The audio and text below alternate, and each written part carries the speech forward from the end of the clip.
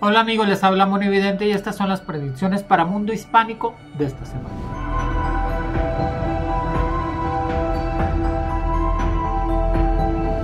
Los signos que van a traer toda la suerte es Tauro, Cáncer y Sagitario. Y sus números mágicos 07, 11 y el número 34.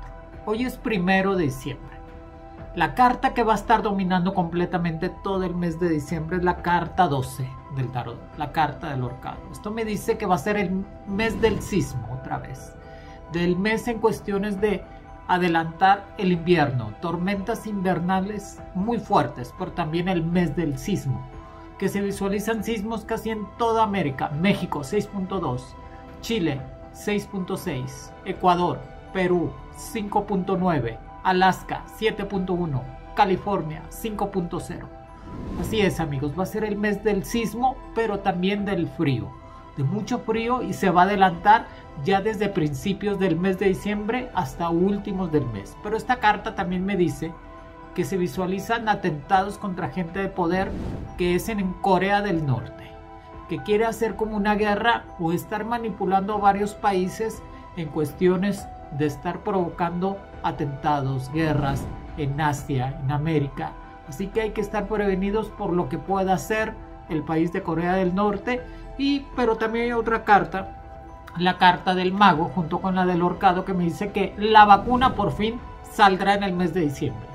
Varios países la tendrán y ya la van a empezar a poner. Estados Unidos, España, Francia, Alemania, Italia, México, Argentina, Brasil, Colombia, Ecuador.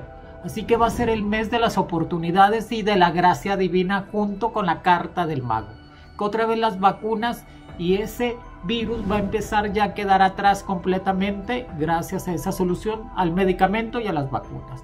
Así que hay que estar prevenidos para todo eso y de lo que pueda pasar.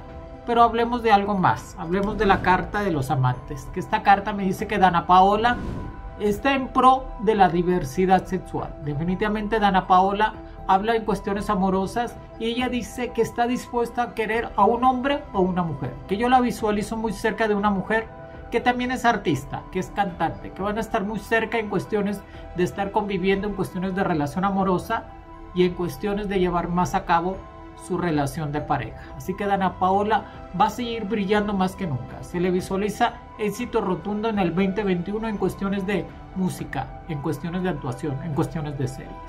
Y más que todo, ayudando a todo su pueblo mexicano para salir adelante. Pero hablemos de algo más, de la Carta de la Justicia. Esta carta me dice que Donald Trump sigue golpeteando completamente a las autoridades en Estados Unidos, hablando de un fraude, en cuestiones de Nevada, en cuestiones de varios estados de Estados Unidos, pero esta carta me dice que no va a poder hacer nada, que definitivamente le dan el gane el 14 de diciembre a John Biden y él el 20 de enero va a tomar posesión completamente, pero Donald Trump va a seguir haciendo rabietas y completamente corajes durante todo el mes de diciembre y se le visualiza hacer nuevos mandatos o en cuestiones decretos para estar obligando en cuestiones de que la gente sufra más, más que todos los latinos y los inmigrantes. Y él se va a decir que él sacó la vacuna en Estados Unidos y no es verdad, la sacó todo el mundo y todas partes y en todos los lugares. Lo más importante de que el país de Estados Unidos tenga su vacuna y se mantengan bien y sanos. Pero hablemos de algo más. Hablemos de la carta de la rueda de la fortuna. Esta carta me dice que por fin van a seguir todavía más adelante la situación en México en cuestiones económicas. Se visualiza que ya próximamente la economía va a empezar a crecer después del día 3 o 4 de diciembre. Cuestiones de que salga esa vacuna, ya la gente va a tomar la confianza y la certeza de salir adelante en cuestiones de negocios, en cuestiones de trabajo. La economía de, de México y también de Estados Unidos va a empezar a crecer y van a estar mejor los mexicanos. Que esta carta me dice que si estuvimos abajo, ahora vamos a estar arriba. Pero esta carta también me dice que el presidente o uno de sus aliados más cercanos va a tener problemas del coronavirus. Se le visualiza al presidente López Obrador o alguien muy cercano a él, de su familia o asesores, con la enfermedad del virus. Así que va a tener que cuidarse mucho en este mes de diciembre. Amigos, estas son las presiones para Mundo Hispánico Los quiere Monividente.